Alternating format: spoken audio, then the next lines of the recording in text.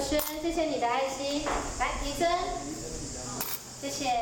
不管是一块钱、十块钱，这是甲仙国中学生点点滴滴累积起来的爱。就是每天少花一点，就可以帮助这些人的。想说给他们，然后让他们就是感受到一些温暖。